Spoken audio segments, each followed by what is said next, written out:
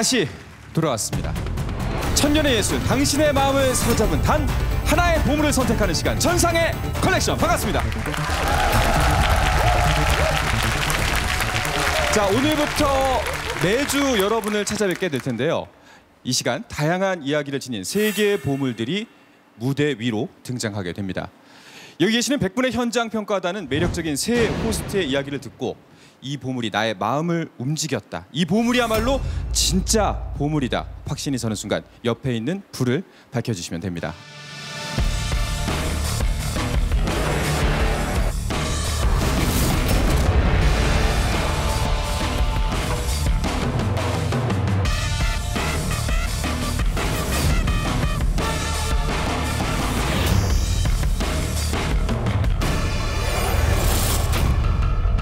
일단 길이가 무려 9m 조선판 반지의 제왕. 19세기 조선 풍경 같냐?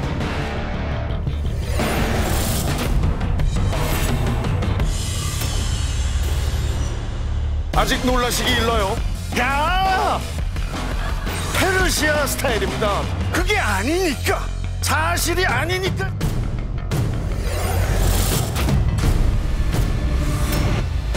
조선인 도공을 잡아들여라. 참 아이러니한 것 같습니다. 고향 땅에 얼마나 그리웠을까요? 어마어마한 얘기가 들어있잖아요. 오늘에서야 이게 풀리는구만.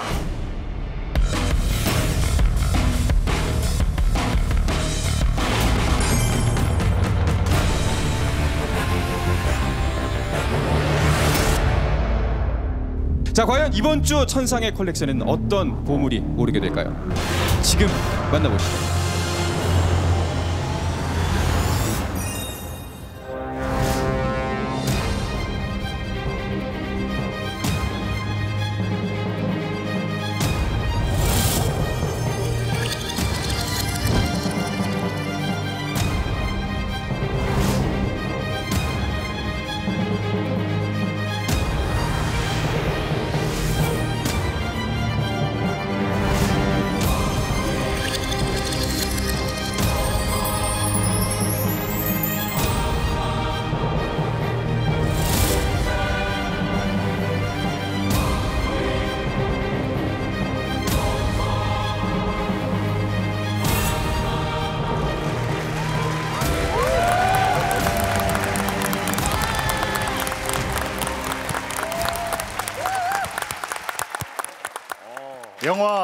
강산무진도 예고편 어떻게 보셨습니까?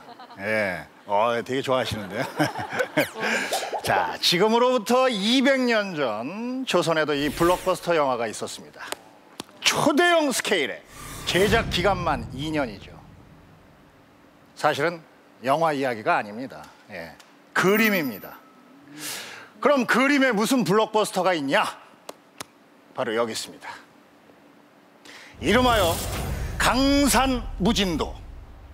일단 길이가 무려 9m가 됩니다. 예. 어, 반응 좋은데요? 자, 게다가 단순한 그림이 아닙니다. 이 그림 안에는 이야기가 있습니다. 예, 스토리가 있죠. 그 시절에 영화가 없던 시절에 이 그림을 봤던 선조들의 느낌이 어땠겠습니까? 블록버스터 영화를 한 편 딱 보는 기분이 들지 않았나?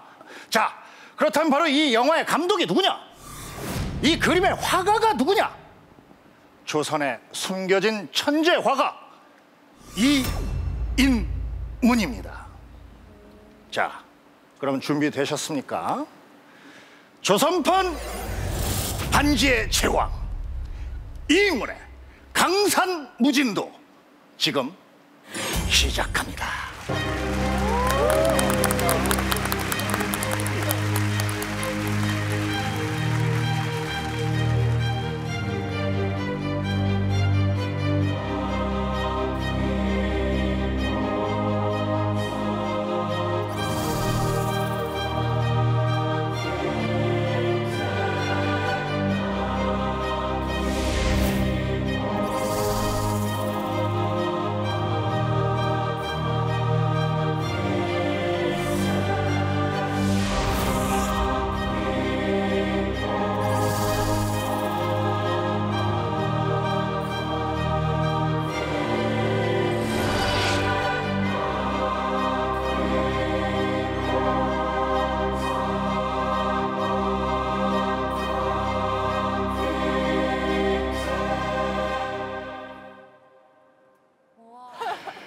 자, 이 그림은 말이죠. 호젓하게 시작하지만 어느 순간 거친 바위가 막 등장하고 높은 산세와 웅장한 바위들이 뒤엉켜서 휘몰아칩니다. 그러다가 언제 그랬냐는 듯이 평화로운 마을로 싹 마무리가 됩니다. 마치 한 편의 영화처럼 보는 사람들의 그 마음을 쥐락펴락합니다. 예. 그런데 이 그림, 이 단순한 산수화가 아닙니다. 그림 속의 사람 보이십니까? 예? 사람이 어디냐고요? 예, 저기 있죠. 이 세심하게 제가 한번 이 사람들을 다 세봤어요. 도대체 몇 분이 계신가? 예. 제가 찾은 인물만 약 360에서 한 2, 3명. 내가 약간 시력이 약간 이쪽 0.4라 조금 약간 흔들리는 부분이. 아 이게 나무야 사람이야 이런 헷갈리는 거 한둘?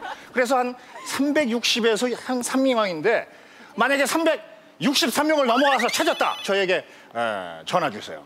공연 관람권 드리겠습니다. 자, 이 360명의 사람들이 가만히 있지 않습니다. 예, 다들 분주해요. 어? 그냥 뭔 일을 하는지 어떤 사람은 말이죠 짐을 옮기고 가고 어떤 사람은 노를 젓고 뭐 물건을 사고 험한 산길도 오르고 참 이 너무나 대단하다는 걸 느낍니다. 아주 동적인 힘들이 느껴져요.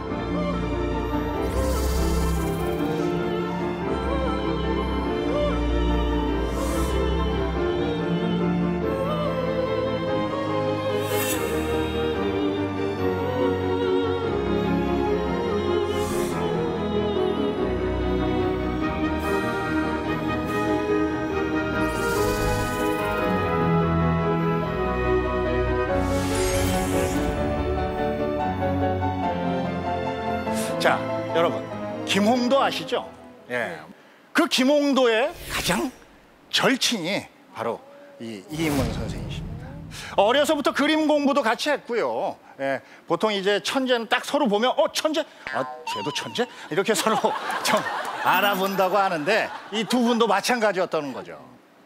이 두 사람을 사랑한 사람이 있었어요.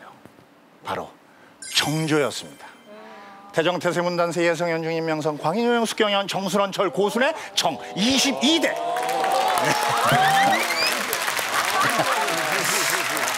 야 내가 요거 초등학교 때 외웠는데 요때 써먹네요. 예.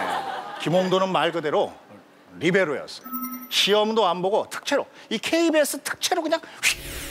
아주 그냥 대표님이 픽 주상 전학해서 아 너무나 사랑하는 정조 곁에서 왕의 주문의 어떤 그 그림들을 주로 그린 겁니다. 그런데 이문 선생은 그렇지 않았어요.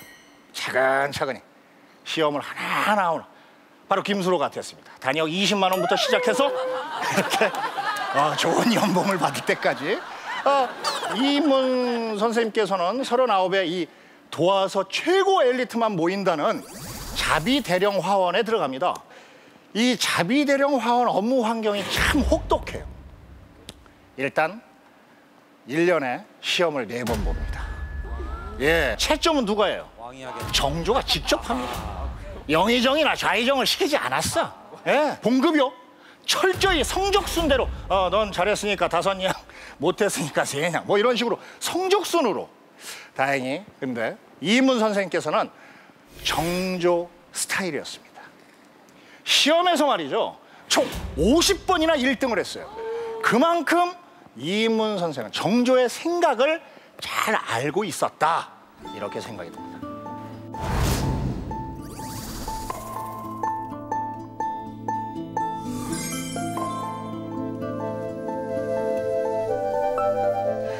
정조가 죽은 뒤에 노화가 난 자신을 사랑하는 옛 군주를 그리워하면서 필생의 역작을 그려냅니다. 그게 바로 강산 무진도입니다. 아 정말 충신이죠. 그런데 여러분 잘 한번 보세요. 자 그림 속에 초가집이 없습니다. 다 기와집이에요. 예. 바퀴 달린 수레도 있고요. 예. 배도 100척이 넘습니다. 선착장. 그리고 이게 19세기 조선 풍경 같냐? 조선 후기 같냐? 아닙니다.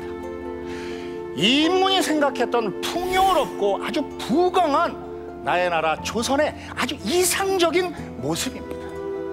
정조가 죽고 말이죠. 조선의 기세가 서서히 기울어 가죠. 예, 조선 후기니까 당연히 그러겠죠. 하지만 이인문은 정조를 떠올린 겁니다. 그리고 자신이 꿈꾸던 유토피아를 그립니다. 흔히 생각하는 우리가 보는 그 신선들이 사는 현실 도피적 유토피아가 아니에요. 강산 무진도 속 유토피아는 백성들이 모두 이 문명의 혜택을 누리고 그리고 대자연 속에서 성실히 일하며 살아가는 세상입니다. 이 그림의 진짜 주인공은 개미처럼 아주 조그맣게 그려져 있지만 저마다의 자리에서 맡은 역할에 충실하면서 꾸준히 생을 이어가는 이름 없는 백성들입니다. 이 인문의 유토피아 강산 무진도입니다. 감사합니다.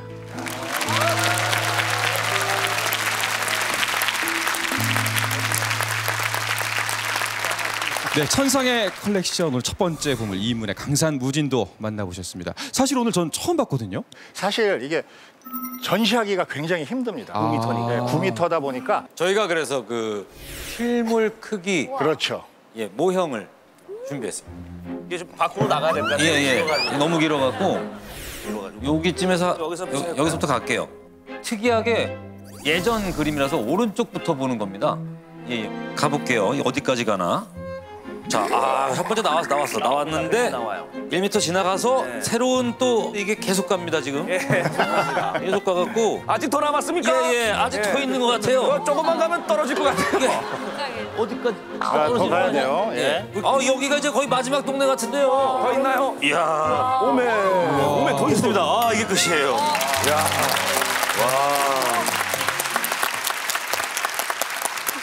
미켈란젤로 천지창조 벽화 위 천장 보는 그때 충격을 받았었는데 그거에 버금가는 충격이었던 것 같아요. 정말 난 그걸 저렇게 알고 있다는 게 충격적인데. 저렇게 긴 그림을 저는 처음 봤어요.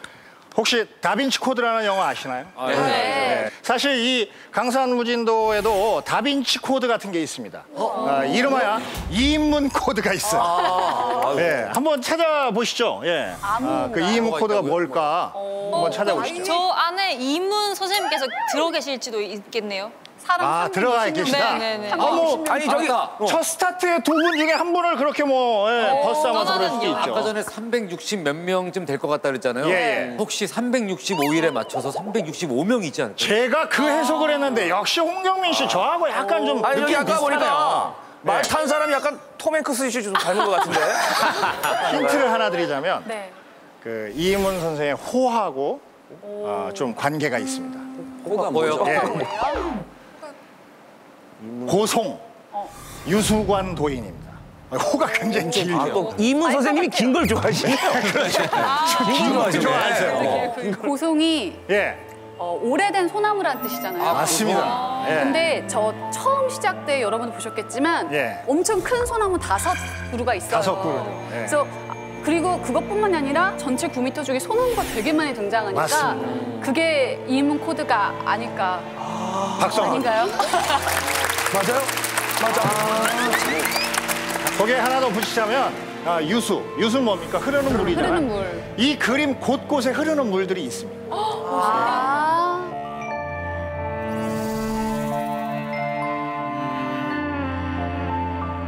그 절개를 얘기하잖아요, 소나무가. 예, 그리고 예. 유수라는 거는 백성의 마음이 임금한테 흐른다라는 어떤 순자의 그 귀절이 있거든요. 그러니까 어떻게 보면 이문 선생은 임금을 향한 어떤 충성과 절개를 의미한 것이다라고 이제 해석이 됩니다. 김홍도 하면 이제 붙는 게 신윤복 보통 네. 이렇게 이제 생각을 하는데. 네, 맞아요. 대중적으로는 김홍도라는 사람은 그러면 스타가 된 거고. 그렇죠. 네. 마치 그 둘 다 실력자지만 왜 장동건 씨가 있고 김철호 씨가 있듯이 누가 그럼 누가 김홍, 김홍도. 되게 실력자인데 어. 되게 실력자. 제가 오래 살잖아요.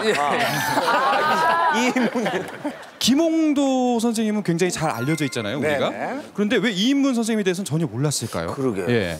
그 이문 선생 같은 경우에 그러면 관념적이고 좀 정통 적이고 좀 그런 그림이었거든요. 정형화된 그림이라고 예. 우리가 산수화 그러는데 그 당시만 해도 그 정선의 진경산수화라 해서 우리 산하를 그린 그림이 있었고 그다음에 예. 김홍도의 풍속화 그 사람들의 삶을 그렸잖아요. 거기에 예. 좀 밀린 감이 있습니다.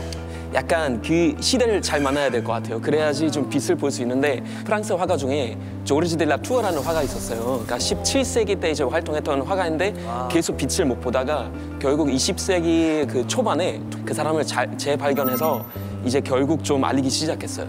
맞습니다. 이렇게 이런 숨은 보물들을 만날 수 있는 곳이 바로 우리 천상의 컬렉션입니다. 여러분 잘하셨습니다. 실제로 이 강산 무진도는요. 그 1년에 한 번 전시될까 말까 말까죠. 하는 말까. 그림이라고 하더라고요. 아까 보셨다시피 아마 오늘 방송을 통해서 이 그림이 더욱더 세상에 많이 알려졌으면 좋겠습니다. 아 너무 좋죠. 자 그럼 마지막으로 김수로 씨가 준비한 강산 무진도 최후의 한마디 들어볼까요? 제가 처음 강산무진도를 봤을 때 말이죠. 야 이런 그림을 왜 대체 몰랐을까 이런 생각이 네, 들었습니다. 그림을 두 번 세 번 이렇게 볼수록 흙 속에 묻혀 있는 진주를 발견한 그런 기분인 것 같아요. 조선에 숨겨진 천재 화가 이 인문의 강산무진도입니다. 감사합니다.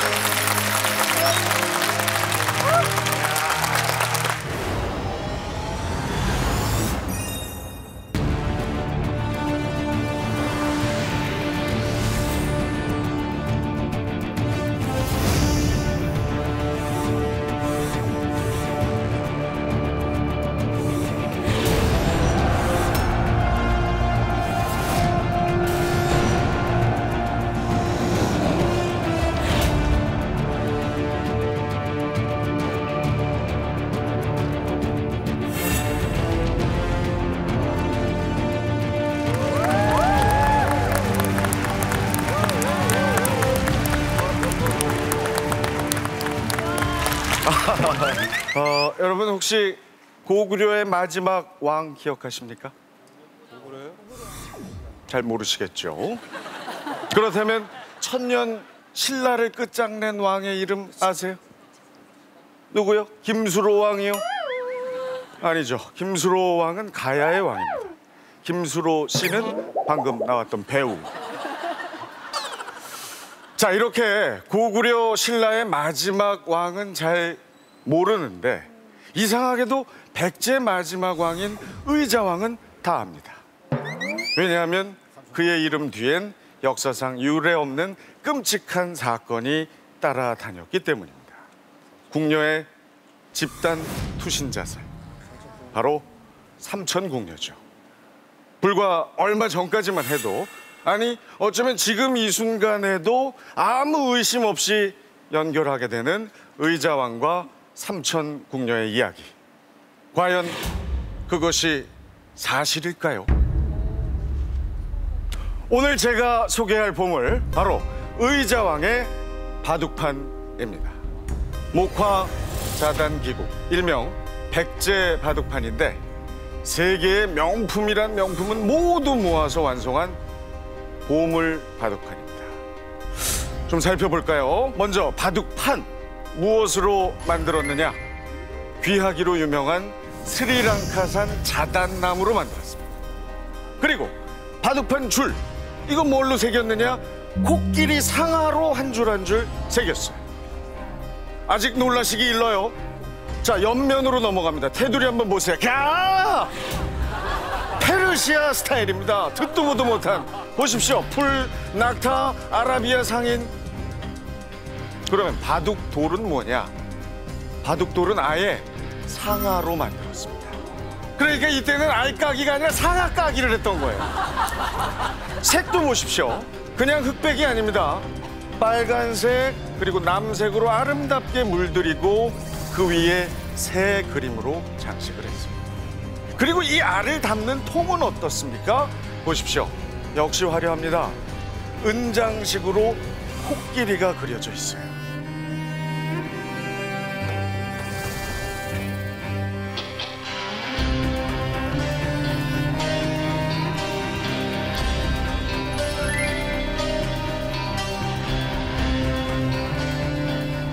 어떻습니까, 여러분?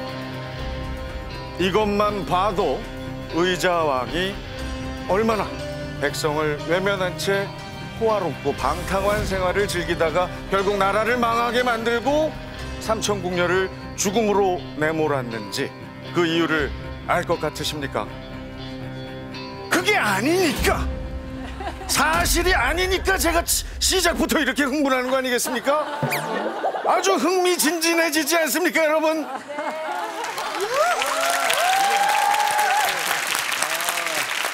지금 박수 치실 때가 아닙니다. 버튼을 누를 때예요. 박영진 누를 때라고. 자 이제 집중해 주시기 바랍니다. 바로 이 바둑판에는 우리가 그동안 몰랐던 의자왕의 진짜 모습이 담겨져 있습니다.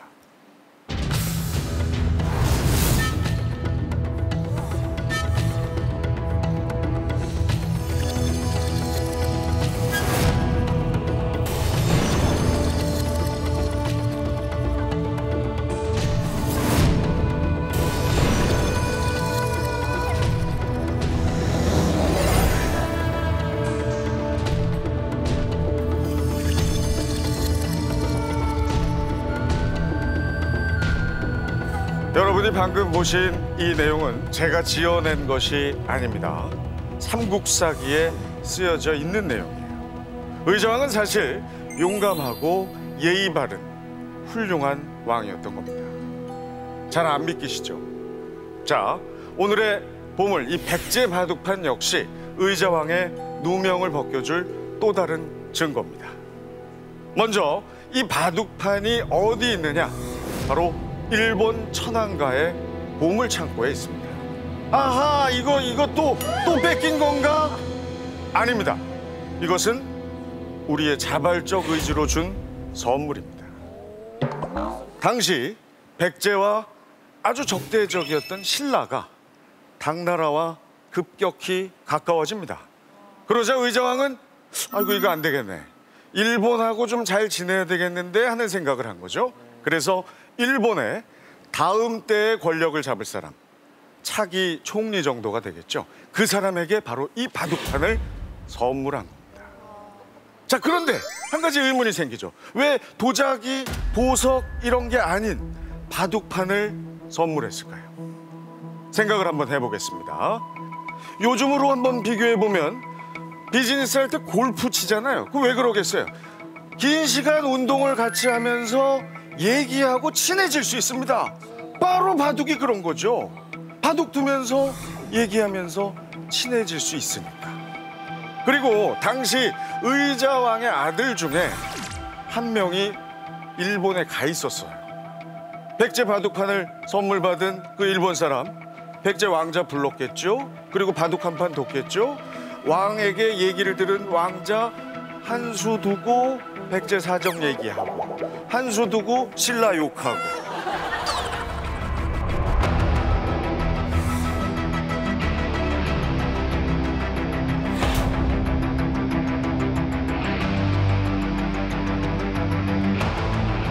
실제로 이런 의자왕의 전략은 효과가 있었습니다. 이 바둑판을 선물 받은 차기 일본 정부는 친백제 성향을 띱니다. 그리고 훗날 백제가 어려워졌을 때 파병까지 하면서 부흥 운동을 도왔어요. 그러니까 이 바둑판은 나라를 살리기 위해 끝없이 고민했던 의자왕의 외교 정치를 보여주는 결정적인 증거인 겁니다. 그리고 20년간 신라를 10번 이상 공격을 해서 여러 차례 승리를 거뒀던 왕이 또 바로 의자왕입니다. 특히 신라의 전략적 요충지인 대야성을 함락시킨 사실은 요즘도 각종 시험에 단골로 출제가 됩니다. 작년 9급 공무원 시험에 보기의 하나로 정확히 나와 있습니다. 공무원 시험 하면 제가 또 예? 공무원 시험 합격은 소경석. 전투뿐만이 아닙니다. 의자왕은 백성들의 마음을 헤아릴 줄 아는 왕이었어요. 죄수들 중에서 면밀히 조사를 해서 정말 죽을 죄가 아닌 경우에는 모두 용서한 적도 있었습니다. 그래서 나중에 의자왕이 당나라에 포로로 끌려갔을 때 백성들이 목 놓아 울면서 불렀다는 노래가 지금까지 전해지고 있을 정도입니다. 자, 여러분. 조금 당황스러우시죠? 우리가 알던 의자왕과 너무나 다르죠? 역사는 승자의 것이다라는 말이 있습니다. 멸망한 나라의 군주였기 때문에 의자왕에 대한 기록은 후대에 쓰여졌고 상당 부분 왜곡될 수밖에 없었을 겁니다. 1400여 년 전 꺼져가는 백제의 운명을 되살리기 위해서 밤잠을 설쳤던 의자왕의 이 한수는 결국 미생으로 마무리가 됐지만 그의 의기만큼은 우리가 제대로 알아야 하지 않을까요? 백제 바둑판 의자왕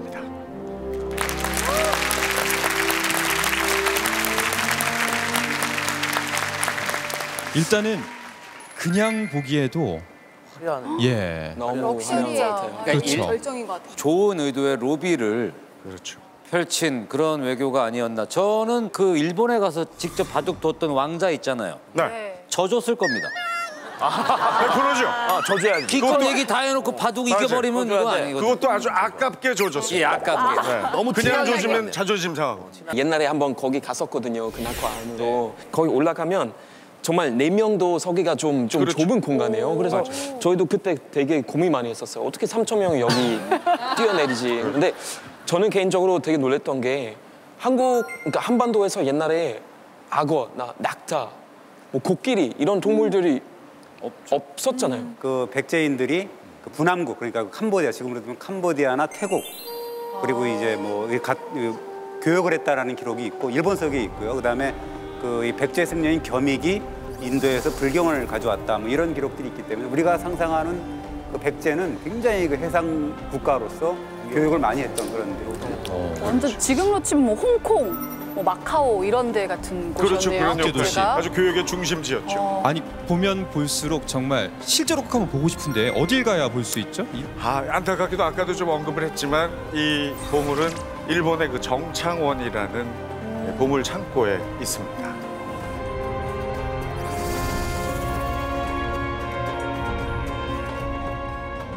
정창훈이 이제 고추장 만드는 회사 같은. 아 정창훈 사람 이름인 줄 알았는데. 일본 황실의 보물들만 모아놓는 창고여서 정말 귀한 것들만 넣어놓는 거고요. 네, 심지어 1년에 딱 유물 몇 점만 공개를 하는데 이 공개하는 시즌에 정말 실제로 그 주변 인근의 여관에 숙박을 구할 수가 없을 정도로 인기가 많은 그런 이제 곳입니다. 맞아요. 그래서 실제로 이, 이 백제 바둑판도 1940년에 처음으로 공개됐어요. 공개됐을 때 맞아요. 네, 일부 한국인들도 본 거죠. 선물도 보통 이렇게 헤어지면은 다시 달라고 그러지 않나요? 다시 달라고 그러면 안 되나요? 그 사귀었을 때고. 아, 그래? 실제로 이 제작 기간 3년, 제작비 2억을 들여서 우리도 만들었어요. 그게 저 백제 한성 박물관에 현재 보관되어 그러니까 있습니다. 이게 모형이 거의 제작비 2억이 들었다는 거는 세계에서 가장 비싼 바둑판일 거라고 학계에선 이제 평가를 하는 작품입니다. 최고 명품 같아요. 그러니까 저게 이거를 줌으로써 의자왕 한 분이 이걸 줌으로써 백제 전체에 대한 이미지가 좋게 일본한테 된 거잖아요. 예를 들면 다니엘 씨 되게 인상 좋으시고 항상 맑으시고 좋은데 좋으니까 고백하는 우리가? 아니, 우리가 독일에 대한 이미지가 그렇죠. 같이 좋아진 것처럼 맞아요. 되게 맞아요. 센스 있으셨던 것 같아요. 나폴레옹도 체스를 되게 좋아했었대요. 그래서 이제 헬레나 섬으로 유배 당했잖아요. 뭐 네. 6년 이상. 그래서 이제 나폴레옹의 어떤 뭐 지원자들 그런 사람들이 이제 체스판을 보내줬대요. 아. 근데 심지어 거기 안에 이제 그 유배지를 탈출할 수 있는 방법을 몰래 몰래 아, Prison. Break처럼 그 안에다가. 맞아요. 근데 나폴레옹이 그거 못 봤대요. 못 정말 어쩌면 이 바둑판 안에도 뭔가 있을 수도 있습니다. 뭔가. 서랍 있을 수도. 있어요. 예. 뭐 이렇게 수- 오늘은 숨겨놓는 게 많네요. 우리가 볼 네. 수가 그래요. 없는 거죠, 현재는. 의자왕 하면은 사실은 진짜 아까도 얘기했지만 우리가 알고 있는 의자왕은 진짜 삼천국리 아니겠습니까? 그렇죠. 노래도 있잖아요. 한국을 빛낸 백명의 위인들. 왜 다른 사람들은 다 좋게 뭐 백결 선생 떡방아 하는데 삼천국녀 의자왕 한단 말이에요. 왜 삼천국녀 의자왕이 빛냈을까 했는데 오늘에서야 이게 풀리는구만. 의자왕이라고 하는 이름 자체에 대해서도 여러분들이 아마 잘못 알고 계실 것 같아요. 의자왕 하면 그 의자가 무슨 뜻이라고 알고 계세요? 아무렴은 앉는 의자라고 생각하진 않았지 우리가. 아 그러세요? 그럼요. 의자, 의자. 장수왕 그러신 뭐, 것 같은데요? 장수왕이 뭐 오래 살아서 장수왕. 오래 살아서 오래 오래 살아서 장수왕. 장수왕입니다. 네. 아 그래. 사실 의로의 의자에 사랑할 자자, 의롭고 자애로운 왕이라고 하는 뜻이었습니다. 가사를 바꿔야 돼요. 삼천궁녀 의장 아니에요 이제. 그럼 뭘로 바꿀까요? 바둑 요정 의장. 바둑 대왕. 바둑 대왕. 바둑 요정. 바둑 로비. 바둑 외교 의장. 바둑 외교. 그렇죠. 바둑 외교 들어가면 의장은 약간 괜찮네요. 자, 그럼 서경석 씨가 소개한 백제 바둑판 최후의 한마디 만나볼까요? 아, 요즘 우리 국민 여러분 파헤치면 파헤칠수록 실망스러운 결과가 나오는 것에 많이 지치고 힘드실 겁니다. 향락과 사치를 일삼아 백제를 멸망으로 이끈 줄 알았던 의자왕. 그런데 오늘 함께 파헤쳐 보니까 몰랐던 사실을 알게 되셔서 많이 놀라셨죠. 하지만 아마 기분 좋은 놀라움이셨을 겁니다. 이제는 우리 국민들에게 이런 기분 좋은 놀라움만 있기를 바랍니다. 의자왕의 목화 자단 기국입니다. 고맙습니다.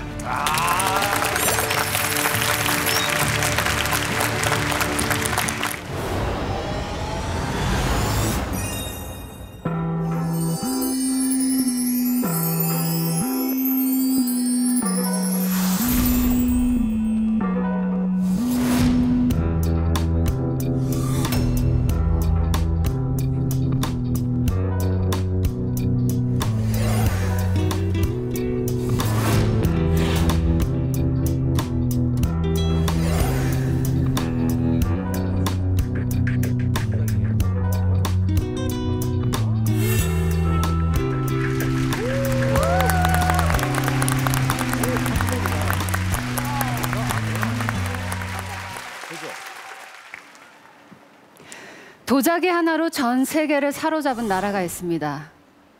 이웃 나라 일본의 이야기입니다. 대략 300년 전 전 세계 왕실과 귀족들은 너무나도 일본 도자기 수집에 열을 올렸습니다. 어느 정도였냐면요. 과거 독일에는 일본 도자기만 모아놓은 일본궁이 따로 있을 정도였다고 합니다. 아름답죠. 가히 일본 도자기 신드롬 수준입니다. 사실 도자기 하면 우리나라도 빠지지 않잖아요. 고려청자, 다랑아리, 정말 빼어난 도자기가 많습니다. 그런데 왜 우리나라는 전 세계에 도자기를 알리지 못한 걸까요? 여기 한번 보세요. 일본 도자기 문명의 출발점이 된 자기입니다. 그 무엇과도 바꿀 수 없다던 일본의 보물, 바로 이도 다완입니다. 그런데 저 다완들 사이에는 몇 년 전 정말 특이한 다완 하나가 발견이 됐습니다. 크기나 모양은 다른 다완과 굉장히 비슷해요. 그런데 확연한 차이를 보이는 한 가지가 있습니다. 찻잔에 글씨가 쓰여져 있다는 사실. 그것도 일본어가 아닌 바로 우리의 한글이 쓰여져 있던 찻잔이었습니다.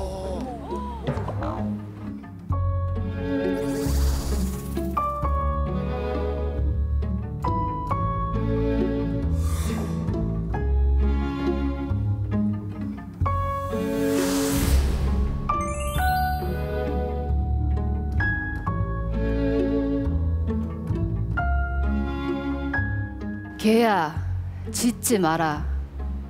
밤 사람이 모두 도둑인가? 조묵지 호고려님이 계신 곳에 다녀오겠노라. 그 개도 호고려 개로구나. 듣고 잠잠하노라. 여기서 고려는 당시 조선을 의미하는 건데요. 음, 일본에 살았던 조선인이 고향을 그리워하며 쓴 시 같지 않나요? 어느 날 조선이 그리워져 밤에 산책을 하는데 개가 짖으니까 좀 서러웠었나 봐요. 그래서 그 개를 꾸짖었는데 때마침 그 개가 마치 자신의 말을 알아듣는 듯 조용해지자 너도 고려에서 온 개로구나 라고 하며 서글픈 마음을 표현한 시입니다. 한글이 쓰인 찻잔. 너무 신기하지 않나요? 그런데 이 찻잔 안에 엄청난 이야기가 숨겨져 있습니다. 기대되시나요? 별로 기대가 안 되시는 것 같은데. 그럼 지금 버튼을 눌러주세요. 이거 봐. 별로 기대가 안 되시나 봐요. 기대되면 눌러요. 밀당을 하시네. 아, 일단 좀 들어봅시다 일단. 조선인 도공을 잡아들여라. 조선을 침략한 도요토미 히데요시의 명령이었죠. 실제로 수많은 도공들이 일본으로 납치돼서 끌려갔습니다. 왜 조선 도공에 집착을 했을까요?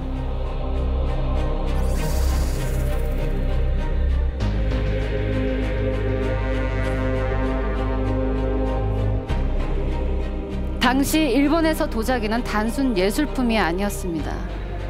부와 명예를 상징하는 아주 값비싼 재산이었던 거죠.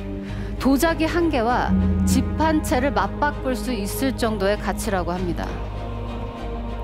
그런 가운데 일본인의 눈을 사로잡은 게 바로 조선 도적이었죠. 고려 시대부터 조선 도공들의 기술은 정말 유명했습니다.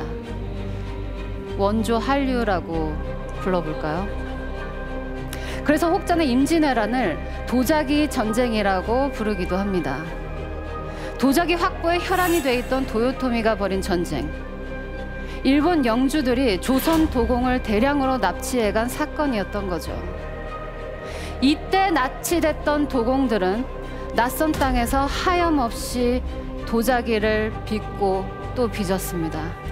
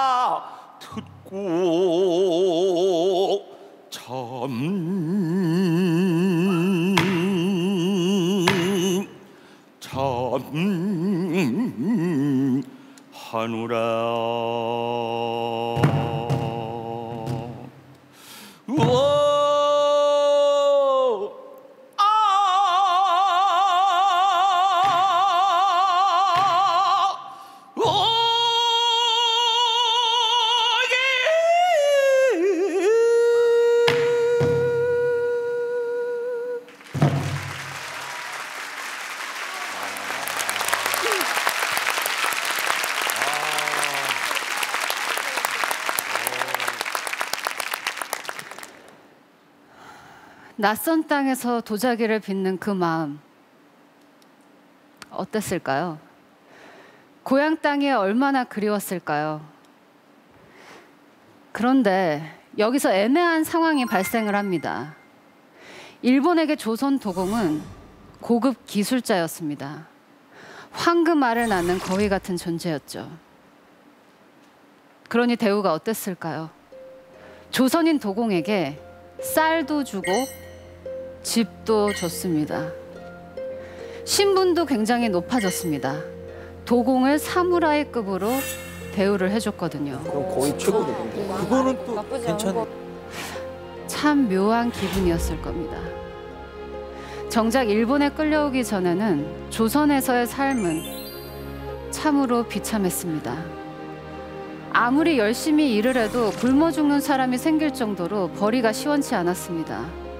지금으로 치면 고급 인력과 원천 기술이 강제로 해외로 유출이 된 셈이에요.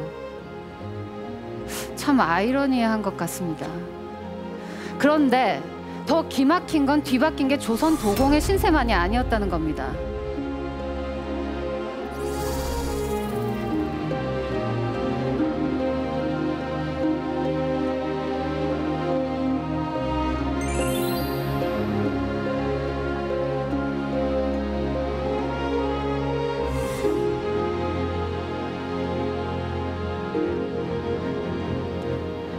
조선 도공들이 빚은 화려한 도자기를 전 세계로 수출을 합니다. 유럽의 반응은 정말 뜨거웠죠. 그 도자기로 일본은 막대한 부를 축적을 합니다. 일본은 조선 도공들이 만든 도자기를 팔아서 종잣돈을 만들고 이 돈으로 19세기에 동아시아에서 가장 먼저 근대화에 성공을 하게 되는 거죠. 일제 강점기의 기반도 아마 이때 만들어졌을 가능성이 굉장히 높습니다. 조선 도공이 만든 도자기로 돈을 벌고 그 돈으로 부강해진 일본이 다시 조선을 지배를 한 셈이죠. 결국 이 모든 역사적 아이러니의 출발점이 바로 이 작은 도자기인 셈입니다. 도공이 남긴 저 시는 혼란한 역사 한가운데 서서 모든 걸 감내해야 했던 한 개인의 마지막 외침이 아니었을까요? 이 작은 찻잔은 다시는 되풀이되지 말아야 할 역사적 비극을 지금 우리에게 말을 하고 있습니다.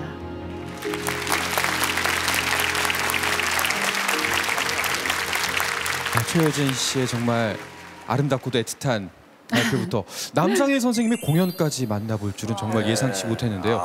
더욱더 그 도공의 절절했던 심정이 다가온 것 같습니다. 네. 마음이 좀 아프네. 근데 이렇게 소박한 찻잔 안에 어마어마한 얘기가 들어있잖아요. 그래서 네. 가슴이 되게 미어지는데 이 찻잔을 저희가 좀 실제로 볼 수가 있을까요? 이겁니다, 이거. 와.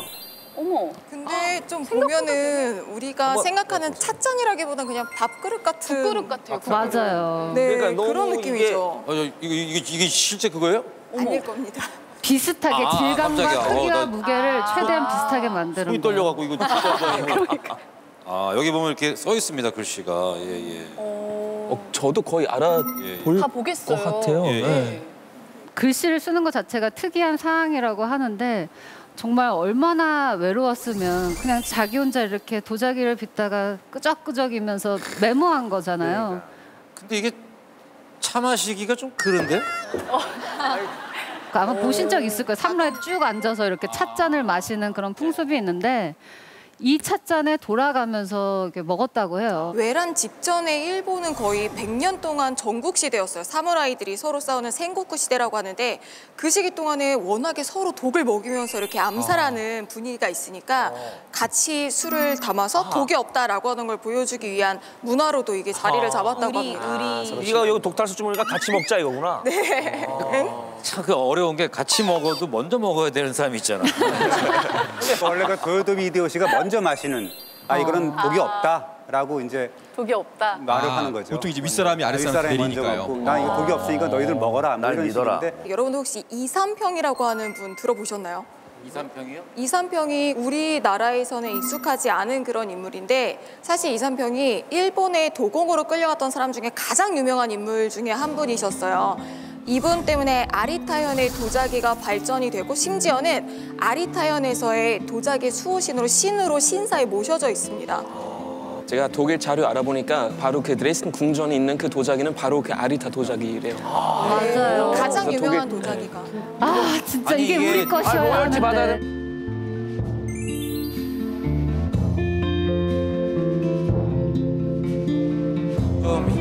현 시대에도 이런 걸 보면서 좀 반성도 좀 하고 해야 될 것 같은 게 사실 우리에게 굉장히 소중한 어떤 그 인재들이나. 예예 네. 이런 부분에 대해서 가끔 소홀한 경우도 있는 것 같은 게 일본이 우리 도공들을 다 납치해간 건 맞는데 그럼 왜 우리 조선 조선 왕조는 그 도공들을 다시 우리나라로 못 데려왔나요? 실제로 박수영이라고 하는 사람이 있는데 이 사람이 정말 고생을 하고 조선에 돌아왔는데 조선에서는 일본의 첩자일 수 있다라고 해서 고문을 하다가 사망까지 하게 됩니다. 맞아요. 그러니까 납치되었던 도공들이 한국에 왔, 왔을 때 다시 우리 조선인이라고 대우를 받고 그 기술을 다시 키워 나갔어야 하는데 그들에게 붙여진 이름은 피로인이었어요. 그럼 저 찻잔이 우리나라 도공들이 못 돌아온 것처럼 아직도 일본에 있는 건가요? 한국으로 돌아왔습니다. 오. 네. 그 기증을 받아갖고요. 그 어떤 그분이 그 이- 사- 사가지고 도쿄 교토국립박물관에 이제 위탁으로 이제 네. 관리를 시켰다가 나중에 그분이 돌아가시고 난 다음에 후손이 아 이거는 한국에 가야 된다 그래서 국립중앙박물관에 그 기증을 오래 걸렸네. 고맙네. 오래 걸렸네. 오래 걸렸어. 예, 오래 걸렸어. 좋은 일본인이시네요. 제가 고향이 부산인데 그 예전에 부산 앞바다에 깨진 도자기들이 엄청 많이 발견됐다고 그래요. 근데 그게 그 배 타고 도공들이랑 도자기들을 태우고 오다가 도자기가 너무 무거워서 도자기를 그냥 바다에 버렸대요. 근데 그게 떠밀려 와서 부산 앞바다에 발견됐다 그러거든요. 마음이 참 아팠어요. 양국의 운명을 뒤바꿔 나온 이 최여진 씨의 한글 찻잔. 과연 오늘 이 자리에 있는 현장 평가단의 마음까지 바꿔놓을 수가 있을까요? 이제는 도자기를 바라보는 시각이 좀 많이 달라질 것 같아요. 전 이 한글 찻잔 속에 담긴 건 이름 모를 조선인 도공 단 한 명의 눈물은 아닐 거라 생각을 하거든요. 아픈 역사가 또 되풀이되지 않기 위해서라도 이 찻잔에 담긴 진짜 의미를 한번 새겨봐야 하지 않을까요?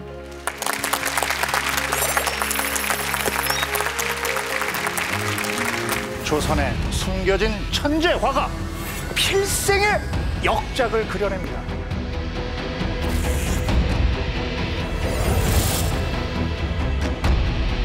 (19세기) 조선 풍경 같냐 조선 후기 같냐 이 그림의 진짜 주인공은 이름 없는 백성들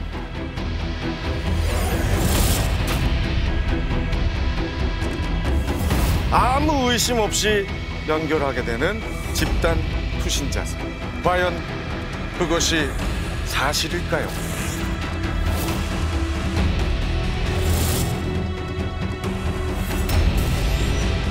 명품이란 명품은 모두 모아서 완성한 아직 놀라시기 일러요. 야 그게 아니니까 사실이 아니니까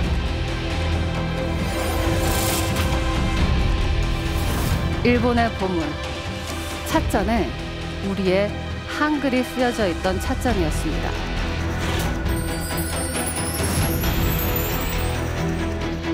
조선인 도공을 잡아들여라. 이 작은 찻잔은 역사적 비극을 우리에게 말을 하고 있습니다.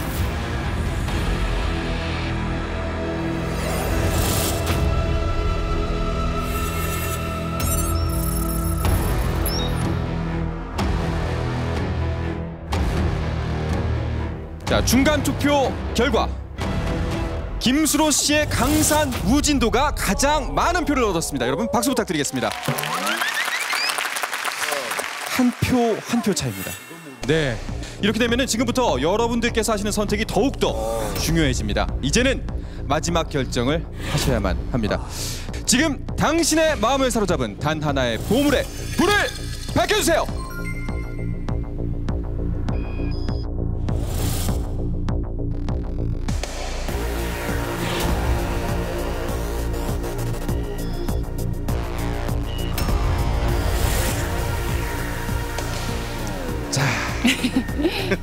천상의 컬렉션. 이제 마지막 결과를 확인하는 시간만이 남아 있습니다. 과연 어떤 보물이 이주 천상의 컬렉션에 오르게 될까요?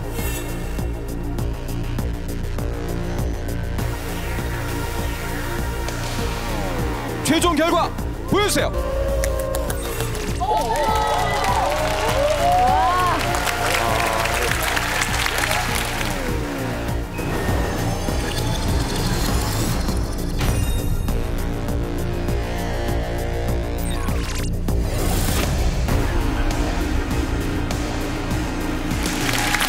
축하드립니다. 오늘 천상의 컬렉션은 호스트 서경석 씨의 백제 가두판이 올라왔습니다. 축하드립니다.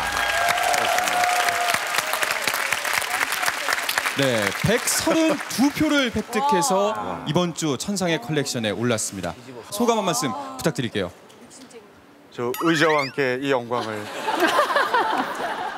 누가 1등하냐는 사실 중요한 게 아닌 것 같고요. 오늘 몰랐던 우리의 이 보물들에 대한 여러분의 생각이 앞으로 바뀌고 예, 이런 것들 더 많이 좀 관심 가져주시기를 정말 상투적인 인사 같습니다만 진심입니다. 고맙습니다.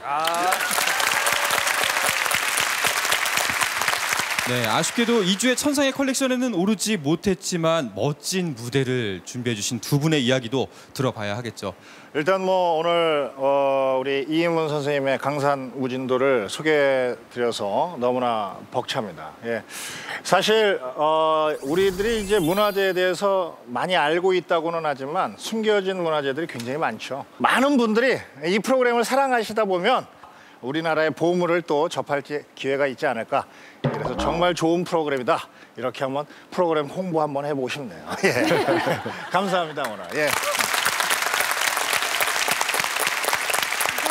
저 스스로도 굉장히 공부가 많이 됐고 우리나라의 역사가 참으로 슬프기도 하고 원통하기도 하면서 정말 알아가야 할 잊혀진 부분들이 굉장히 많더라고요. 그래서 많은 분들이 조금 더 우리나라 문화재에 더 관심을 갖고 역사에 좀 더 재미를 느끼셨으면 좋겠습니다. 감사합니다.